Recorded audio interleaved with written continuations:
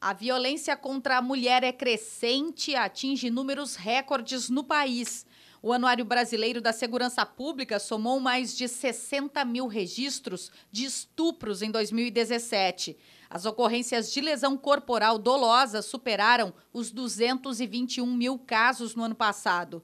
E os feminicídios cresceram 80% em relação a 2016.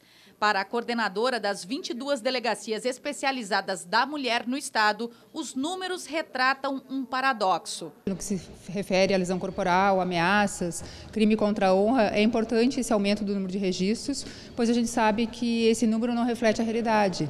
Então, cada vez que aumenta o número, demonstra que a rede está fortalecida. Como o feminicídio não há subnotificação, né, pois todos os casos são, chegam ao conhecimento da polícia, esse aumento preocupa a Polícia Civil, preocupa toda a rede de proteção à mulher então, é um trabalho que nós temos realizado, uh, intensificado, né, essa, essa questão da prevenção ao feminicídio, sempre incentivando as mulheres a registrarem a ocorrência. Nós temos algumas situações de feminicídios em que a mulher nunca procurou uma delegacia de polícia, então o trabalho da Polícia Civil também é de prevenção, no sentido de incentivar essas mulheres a registrarem a ocorrência policial. A coordenadora do Coletivo Feminino Plural também destaca como avanços as leis que trouxeram a medida protetiva, o maior rigor nas penas e a rede de atendimento às mulheres mas considera que a persistência das estatísticas crescentes precisa ser atacada em uma nova dimensão, na educação com as questões de gênero e no combate a uma cultura machista persiste a ideia de que as mulheres pertencem aos homens,